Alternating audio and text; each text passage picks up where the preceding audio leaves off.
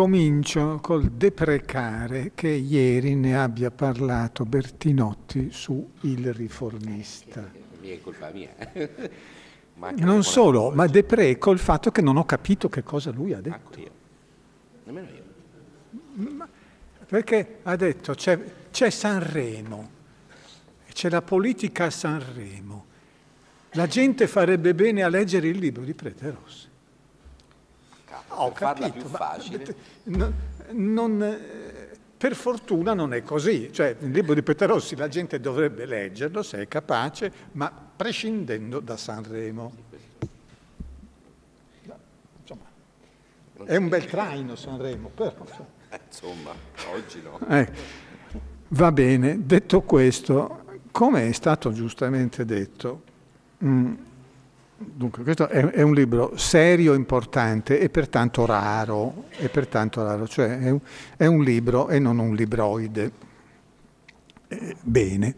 Eh, cosa, il titolo, eh, cominciamo col dire che diritto vuol dire ordinamento. Ecco, così ci intendiamo. Eh, ordine, l'ordine moderno. E teologia politica vuol dire eh, che l'ordine moderno non si autogiustifica. E questo è un bel problema. Perché? Perché tutta la modernità, meglio, le principali linee di eh, riflessione della modernità su se stessa sono centrate sull'idea di autogiustificazione, in violentissima polemica contro l'autorità, contro il concetto di autorità, cioè contro il concetto di, di, una, ehm, di un fondamento legittimante che non deve giustificarsi. Che era poi sostanzialmente era Dio quando Dio diventa da, da, nome della pace, diventa nome della guerra, cioè guerre civili di religione in Europa, eh, i grandi filosofi, eh, non il mainstream che continua imperterrito a dire le solite cose, i grandi filosofi cercano, fanno uno scarto, una, un tentativo di cambiare paradigma e di pensare alla politica senza fondamento. Quello che ci pare essere una politica senza fondamento. E una politica senza fondamento è una politica che si autofonda. La forma fondamentale dell'autofondazione è il contratto, Beh, il cosiddetto contratto sociale. No? Eh, è il barone di Munchausen che si tiene su prendendosi per il codino.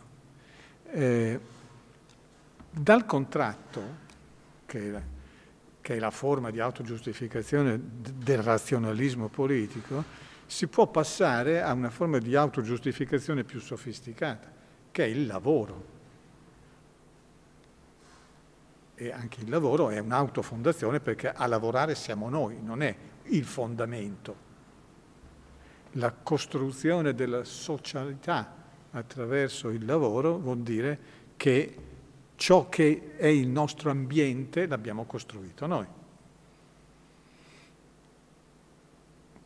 Poi, e questo potrebbe essere il pensiero dialettico, non parliamo del pensiero negativo che dell'assenza di fondamento si fa il programma.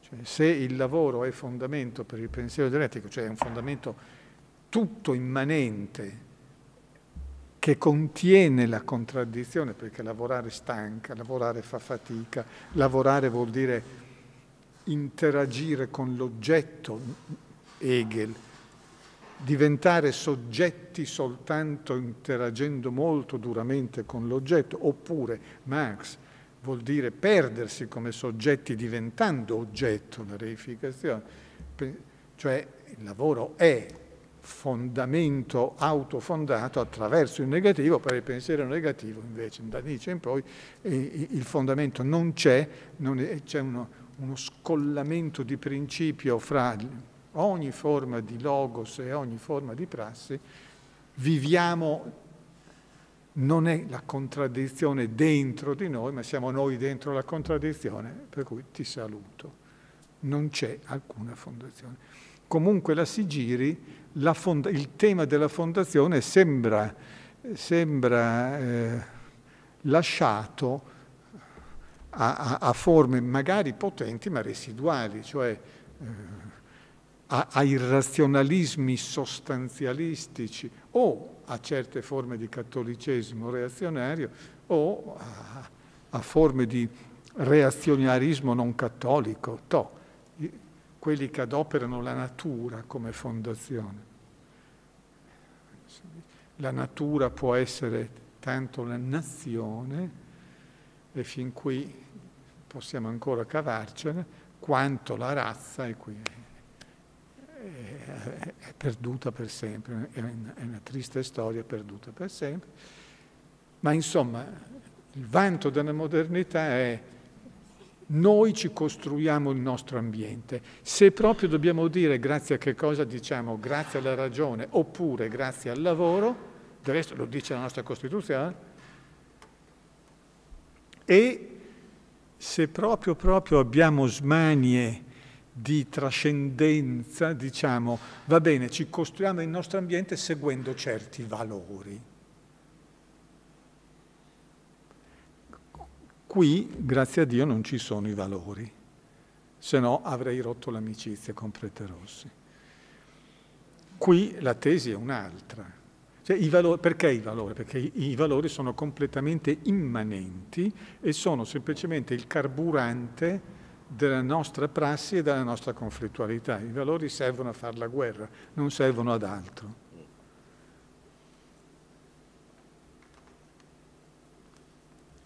Che cos'è teologia politica? È, la, è una teoria del fondamento? No.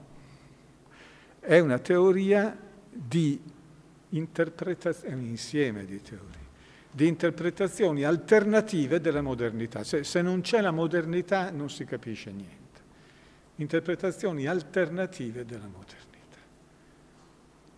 Alternative a che cosa?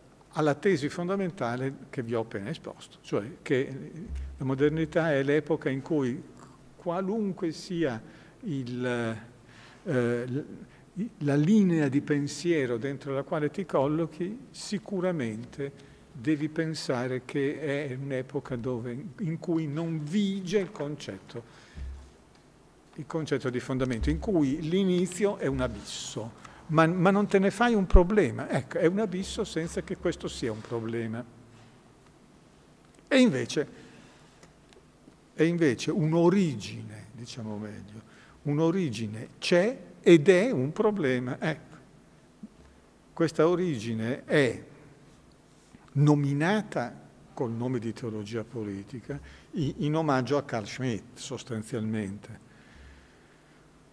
Mm, ma quella di Carl Schmitt è una, è una modalità di riflessione sulla, sulla origine.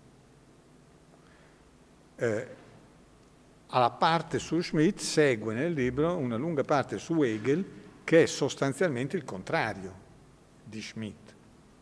E tuttavia anche lui funziona come pensatore dell'origine che non commette l'ingenuità di pensare che l'origine non sia un problema.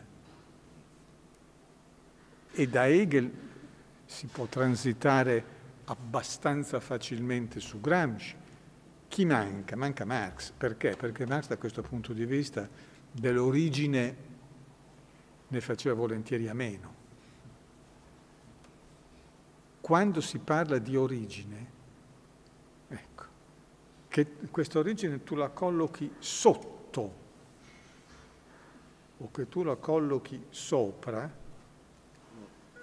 stai parlando di qualche cosa che viene che non coincide né con il contratto né con la storia come sviluppo lineare, cioè come col progresso, né con la nozione marxiana di struttura, che è un discorso completamente, se lo prendiamo proprio alla lettera, e non voglio qui stare a dire se facciamo bene o male a prendere la lettera, tutta la seconda internazionale l'ha preso la lettera, ecco, vuol dire struttura, vuol dire le cose come sono, o meglio, i, i rapporti di produzione come si sviluppano.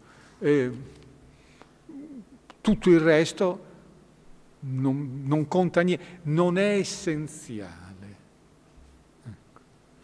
No, origine vuol dire che tu la collochi in un abisso o che tu la collochi in una dimensione eccedente, in una eccezione o in una eccedenza, eh, vuol dire che il livello della piattezza orizzontale è, tu lo consideri determinato da quell'origine. Che quel livello di piattezza orizzontale, che dunque non è più piatto, eh, che lo sappia o no, che lo capisca o no, che lo porti con sé o no questa consapevolezza. Ed ecco che abbiamo Schmidt in cui quel livello è un livello abissale. Lui inventa la, non inventa la parola teologia politica, però gli dà l'allure che ha preso fino a, da un secolo a oggi. Eh, ma di teologico non c'è niente, cioè di sostanza non ce n'è nemmeno un po'. La, la tesi è che la modernità si svolge tutta quanta, ed è, ed è una tesi ovviamente antiprotestante, contro la secolarizzazione produttiva del protestantesimo. La tesi è che la modernità si svolge tutta non con l'oblio o con la traduzione mondana della religione, no? La modernità si svolge tutta all'interno della religione, occhio, all'interno degli schemi meramente formali del pensiero teologico, agli schemi formali, cioè come la teologia ha pensato l'universo, cioè un ordine che ha un centro, un ordine razionale che ha un centro che lo informa, così la modernità non può fare a meno di pensare a se stessa e, la, e soprattutto la propria politica, cioè lo Stato. Ma con la differenza fondamentale che mentre il pensiero della tradizione religiosa, che Schmidt peraltro rispetta tantissimo, essendo lui cattolico eppure reazionario, ehm, mentre il pensiero della tradizione religiosa era un pensiero in cui quel centro era una sostanza, e che sostanza? Era Dio, cioè quello che teneva tutto, sos- sosteneva tutto. Nella modernità, proprio perché Dio non può più essere adoperato, perché il, Dio moderno è il Dio della guerra, nella modernità si, di quel modello di pensiero resta soltanto la forma senza sostanza. E così la modernità ha al proprio centro una voragine. Ecco, per cui nichilismo allo stato puro, certo, che vuol dire, occhio, vuol dire che la modernità è infondata? Sì, certo, ma questa infondatezza è una infondatezza pacificata dentro la quale ci troviamo bene, è, è un'infondatezza dentro la quale ci mettiamo lì come individui empirici a far contratti e con i contratti a fondare lo Stato. Eh no. Con questo deficit originario, tutto quello che costruiamo nella modernità è un'immanenza che crede di riuscire a tappare la voragine a neutralizzare il buco e non ci riuscirà mai. Ecco.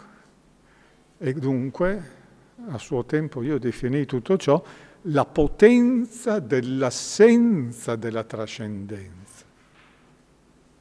Questa è la teologia politica di Schmidt. che è una macchina lanciata contro il liberalismo, contro il protestantesimo, contro la tecnocrazia, contro tutto, contro il socialismo, figuriamoci, cioè contro tutte le, le occhette giulive che se ne vanno nel mondo credendo nei diritti, nel progresso e credendo che sia possibile la pace la democrazia e l'uguaglianza. E, e, Schmidt, che era un vecchio reazionario, eh, godeva immensamente nel dimostrare che nulla di quello che la democrazia può promettere può essere mantenuto che dentro la forma della politica c'è un'assenza di sostanza che deforma quella forma. Quell'assenza di sostanza che deforma la forma è il politico cioè il fatto che dentro la politica c'è il conflitto originario. Ma quel conflitto originario è un altro nome dell'abisso originario della modernità. Per cui occhio con Schmidt uguale a Thomas Hobbes. Eh? Occhio, perché Thomas Hobbes, poveraccio, ci credeva nella ragione umana. Schmidt no. Ecco. Però non credeva neanche in Dio Schmidt, figuriamoci. Eh, e non credeva neanche nei valori, non credeva in niente era solo intelligente. E, ed è una teologia politica che giustamente Rossi adopera come uno dei modelli, l'altro essendo quello di Hegel, che funziona all'opposto. Cioè in Hegel la critica al liberalismo avviene non in nome dell'eccezione, cioè di quel vuoto originario, ma avviene in nome della eccedenza dell'idea, cioè tutto quello che noi facciamo lo facciamo perché siamo mossi dalla necessità, ecco, siamo mossi dalla necessità di rendere effettuale l'idea, cosa che non riusciremo mai a fare. Però questa impossibilità originaria non produce effetti nichilistici, perché in Hegel la sostanza c'è, non è la sostanza tradizionale, cioè l'oggetto, anzi è il soggetto. No, il, grande, il, grande, manifesto di Hegel è, è la fenomenologia dello spirito e, e, e lì c'è scritto che bisogna pensare alla sostanza anche come soggetto, il che vuol dire bene, la modernità ha liberato la soggettività, benissimo. La soggettività eh, che cos'è? È la soggettività empirica? Sì e no. La soggettività empirica è quella che è stata liberata, ma funziona, agisce, lavora, è efficace, produce senso soltanto se è capace di caricarsi del peso che un tempo era il peso della sostanza. E chi è capace di fare questo? Allora, non i cattolici. Perché? Perché i cattolici tengono separata la sostanza che chiamano oggetto, cioè Dio, dal soggetto e, e vedono nel soggetto un, una creatura inferiore che si deve inchinare alla volontà dell'oggetto, cioè non c'è conciliazione, c'è gerarchia. Non i giacobini, che sono uguali ai cattolici, semplicemente a ruoli politici invertiti. Nei giacobini c'è una soggettività devastante che vuole fare piazza pulita di tutto quello che essa non capisce ed è il terrore. Non c'è conciliazione, c'è nichilismo. Non capiscono niente, adoperano una ragione astratta, una ragione che non vuole essere fondamento mediato, ma vuole essere immediatezza e in nome dell'immediatezza tagliano le teste come teste di cavolo.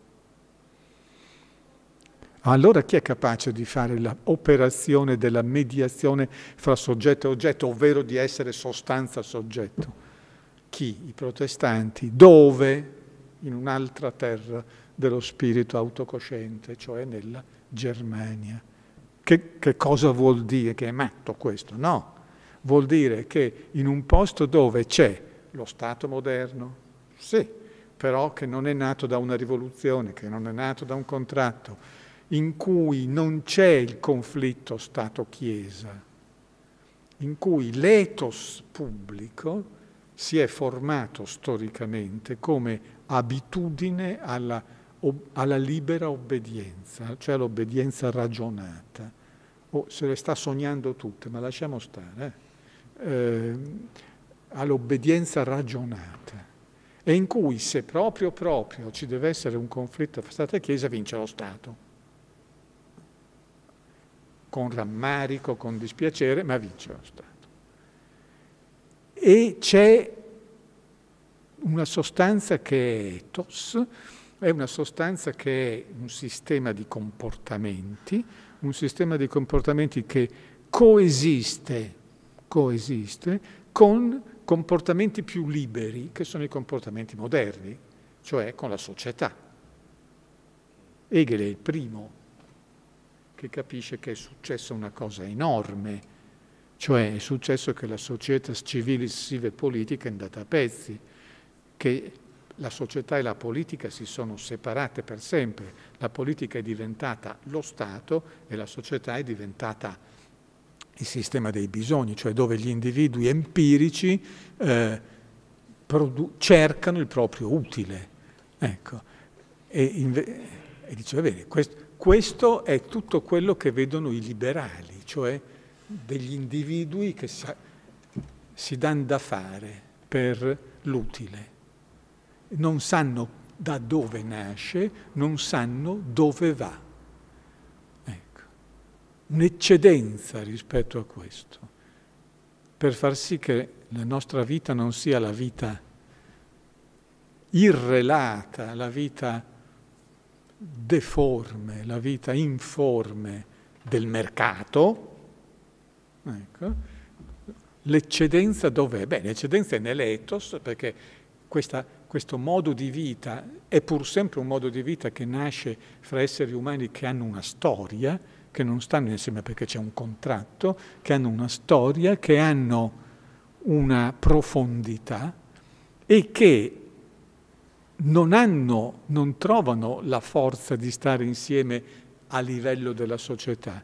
La società è incistata dentro lo Stato. E lo Stato, eh, questo Stato è diverso allora dallo Stato della tradizione, dallo Stato di Carl Ludwig von Haller. Certo, è uno Stato che contiene uomini liberi, che sono liberi a vari livelli, al livello della società civile, e che dentro, grazie allo Stato sono ancora più liberi perché lì imparano, grazie allo Stato, imparano la, la sussistenza piena dell'ethos. Lo Stato non è uno Stato etico nel senso che insegna qualche cosa a qualcuno, c'è stato perché c'è un ethos, cioè perché nasce dalla profondità della storia, è una pienezza che diventa esplicita grazie alle soggettività umane e grazie al fatto che lì c'è una soggettività, nello Stato. Alla fine c'è una soggettività nella soggettività che è la Fürstliche Gewalt, il potere del principe. Per cui spirito oggettivo è sempre spirito, eh? non è pura oggettività, è spirito oggettivo. La sostanza è divenuta soggetto. Certo, è tutto pieno di contraddizioni, questi livelli non si appartengono senza difficoltà. Ad esempio, lo Stato fa la guerra. I liberali non vogliono che lo Stato faccia la guerra, perché vivono lo Stato come un sistema di assicurazione dei loro affari e dei loro diritti. Invece lo Stato lo fa e così questi imparano che c'è qualche cosa che eccede la, so- la soggettività empirica. Allora, qui abbiamo una, teolo- una teologia politica, cioè una teoria dell'eccedenza che spiega l'immanenza. Poi abbiamo Gramsci che è un bel acquisto perché qui Gramsci è diventato, diciamo così, in questo libro c'è Schmidt diventato un pezzo grosso della filosofia, che va bene, no, va bene perché io stesso lo, l'ho letto così, insomma, è, è, è così, lui eh, poteva anche dire di no, ma insomma è così. Hegel, che è un pezzo grosso della filosofia e per fortuna non ci piove su questo, Gramsci che è elevato a questi livelli anche... Cosa c'è di teologico politico in Gramsci? Tenuto conto che Gramsci è un dialettico, per cui capiva Hegel, ecco, poteva essere prigioniero di una retorica anti-hegeliana, ma mica tanto, mica tanto, eh, certamente era al di fuori delle sciocchezze della seconda internazionale. Mm, c'è un passaggio di Gramsci che Rossi valorizza, in cui Gramsci mette insieme il livello speculativo, la filosofia insomma dialettica, e il, eh, la religione. E da quel passaggio eh, Prete Rossi eh, trae la conclusione che Gramsci eh, esce dalla dicotomia poco esplicativa struttura-sovrastruttura e che Gramsci eh, elabora una, il proprio pensiero in modo tale da riuscire a tenere insieme, diciamo così, il proprio pensiero in modo da dare valore strutturale anche alla sovrastruttura. Cioè da non cadere nella trappola della pura immanenza che poi vuol dire, per un marxista, vuol dire economicismo mentre la trappola della pura immanenza per un liberale vuol dire economicismo più tecnocrazia, insomma, che stessa roba, ma anche per un marxista quando c'erano, eh, quando, quando, avevano il potere, anche loro spiegavano tutto, economia, scienza tecnica, facciamo tutto noi. Ecco, eh, Gramsci invece è portatore di una capacità di eh, pensare alla politica come a una dimensione rilevata e non come a una dimensione piatta. Questo lo si trova nel concetto di nazional popolare, che vuol dire, vuol dire che quando si fa politica entrano in gioco categorie scivolose, nazione, popolo, spessori storici, prospettive, non per adoperare una metafora orribile e infelice che è stata adoperata dal segretario di un partito giustamente punito dagli elettori. Ah, era, cos'era il cuore e il cacciavite? Cioè, ah sì, fuori il cacciavite. Come se la politica fosse... Eh? Non c'era né il cacciavite né il cuore. Eh, no, cioè, come dire, la politica fosse... Un, in politica entrassero emozioni e microtecniche. Eh no. Voi capite, dire teologia politica diritto vuol dire sostanziale, poi chiudo perché vi ho già seccato abbastanza. Eh, vuol dire, se vuoi il diritto, cioè se vuoi un ordine razionale, devi, fare, devi cercare molto più in là. Devi cercare molto più in là, molto più in basso, molto più in alto.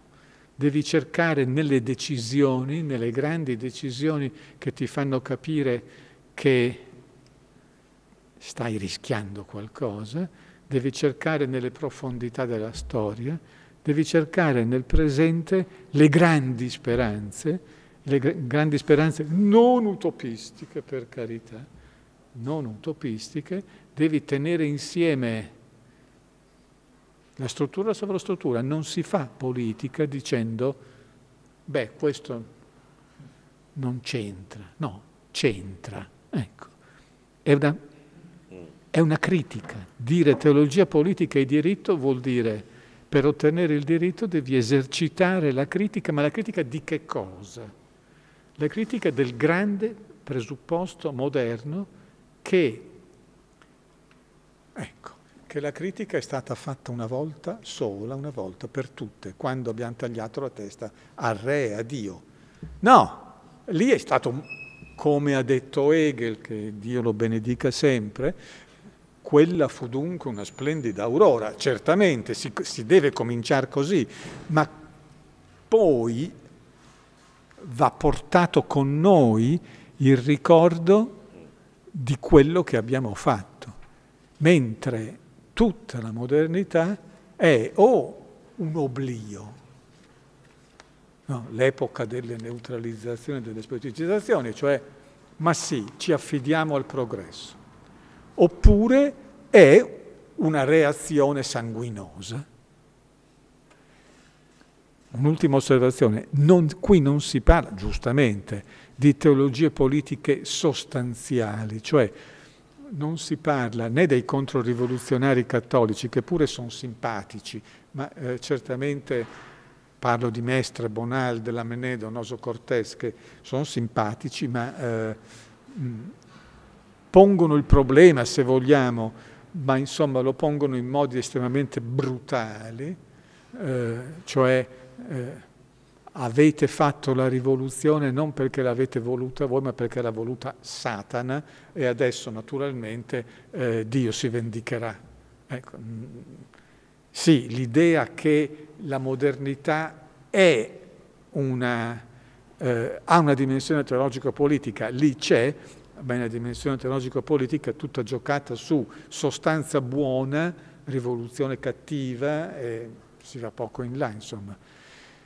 E non c'è la teologia politica, ecco, con, contro la quale siamo andati a sbattere in, in questi anni, cioè l'imperialismo eurasiatico di Putin, che oggi è una vera teologia politica alla quale noi contrapponiamo abbastanza goffamente qualche cosa che potrebbe sembrare teologia politica, ma non è, è semplicemente un'ideologia, un'ideologia occidentale media, diciamo, mentre invece lì c'è una teologia sostantiva,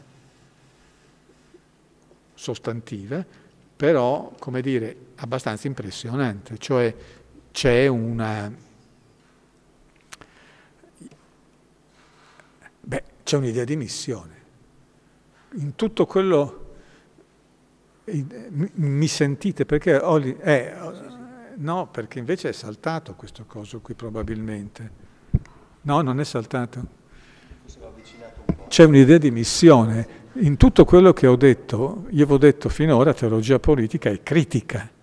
E invece può anche essere adoperata come supercritica e, e allora sono i controrivoluzionari cattolici, che è una critica che diventa dogmatica, o può essere adoperata come un'idea di missione, cosa che, vabbè, Dio è con noi, eh, cosa che uno dice, ma al giorno d'oggi non si fa più, è mica vero, mica vero.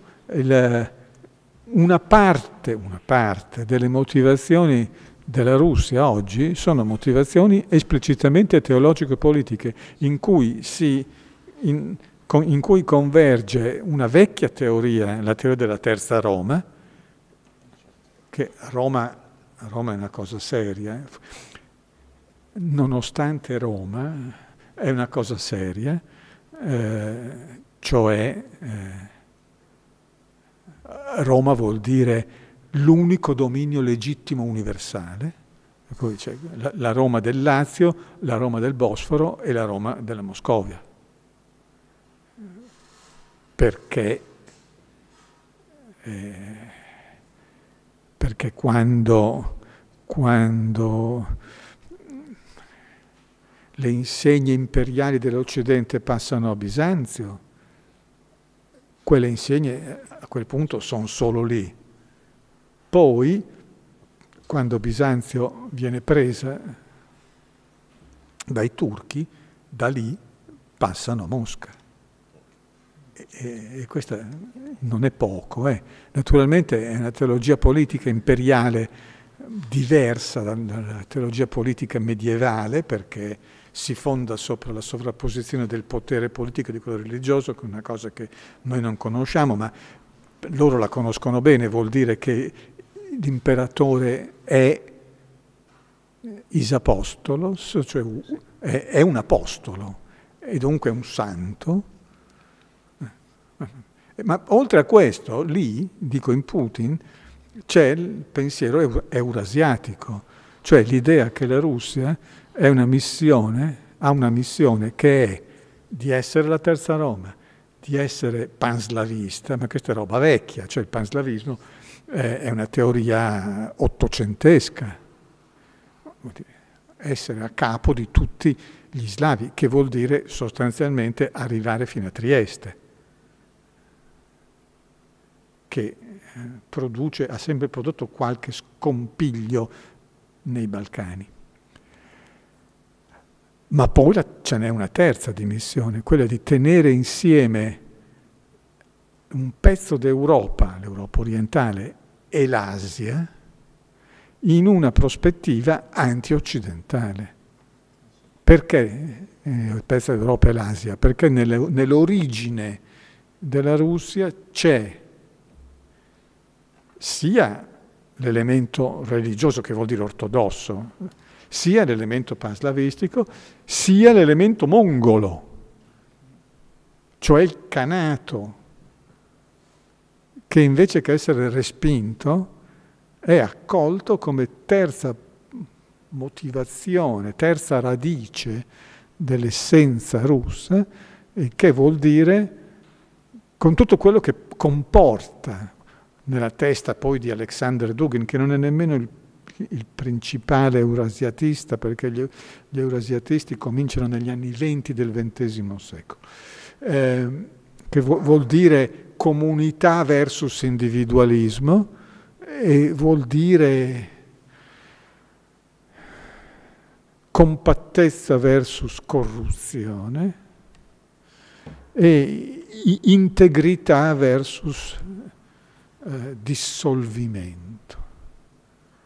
La, la Russia deve essere, ha questa missione imperiale di riprendersi tutto quello che è suo e potendo anche di riconvertire l'Occidente. Guardate, dietro a questa storia eh, ci sta anche uno come Dostoevsky, eh? cioè che scriveva cose abbastanza impressionanti. Se uno si legge il diario di uno scrittore, cioè, c'è una potenza anche ideativa, oltre che espressiva. L'Occidente è un formicaio. Per cui questa è una bella teologia politica che noi non capiamo come tale, pensiamo che sia un'allucinazione.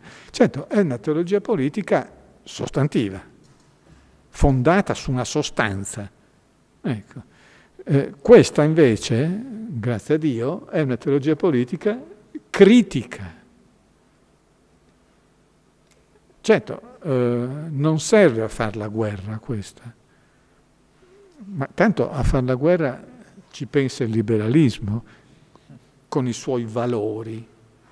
Ecco, con questa, con questa eh, non si fa niente però si capisce che è esattamente quello a cui serve la filosofia. Eh?